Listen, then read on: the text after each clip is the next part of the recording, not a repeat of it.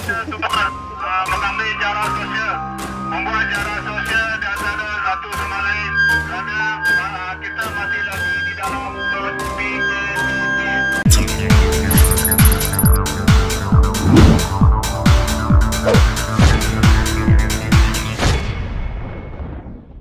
Polis membuat pengumuman menggunakan pembesar suara kepada ratusan penyokong bekas Perdana Menteri. Datuk Seri Najib Razak supaya menjaga jarak sosial selepas mereka tidak mematuhi prosedur operasi standard SOP bagi mengekang COVID-19.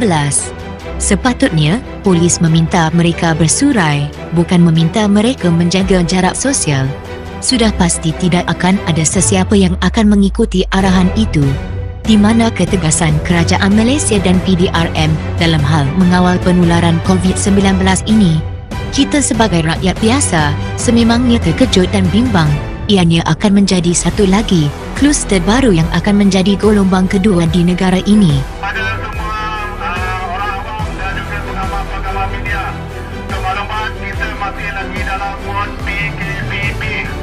Ketua Pengarah Kesihatan, Datuk Dr. Nal Hisham Abdullah jelas terasa hati dan kecewa dengan kelakuan penyokong bekas Perdana Menteri, Datuk Seri Najib Razak yang tidak mengamalkan penjarakan sosial ketika berhimpun di pekarangan Kompleks Mahkamah Kuala Lumpur hari ini. Sedih bila melihat keadaan begini tiada kawalan kendiri.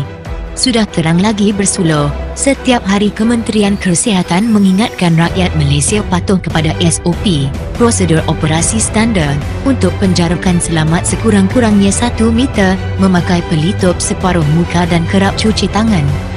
Lebih menggusarkan apabila mereka bukan saja tidak mematuhi jarak sosial, malah ada yang tidak memakai pelitup muka yang dibimbangi menyebabkan kluster baru COVID-19. Kebimbangan mengenai wujud kluster Najib atau kluster Bosku disuarakan warga net berikutan gambar penyokong Najib yang berhimpun tanpa mempedulikan langkah-langkah kawalan penularan COVID-19. Untuk menunjukkan sokongan politik itu tidak salah, Malaysia adalah sebuah negara demokrasi. Cuma, dalam keadaan kita semua masih lagi perlu berhati-hati akibat penularan COVID-19 masih berlaku, ia adalah sesuatu yang tidak bijak untuk berkumpul beramai-ramai begini. Kalau kita lihat ramai ahli politik yang datang untuk memberi sokongan kepada Najib Razak, sepatutnya mereka peka dengan keadaan negara sekarang. Mereka sepatutnya memberikan nasihat juga kepada para penyokong untuk menggunakan topeng muka dan melakukan penjarakan sosial. Rata-rata warganet kecewa dengan kejadian ini. Akan menjadi sia-sialah pengorbanan barisan hadapan negara dan rakyat selama ini jika kluster bosku ini akan terjadi.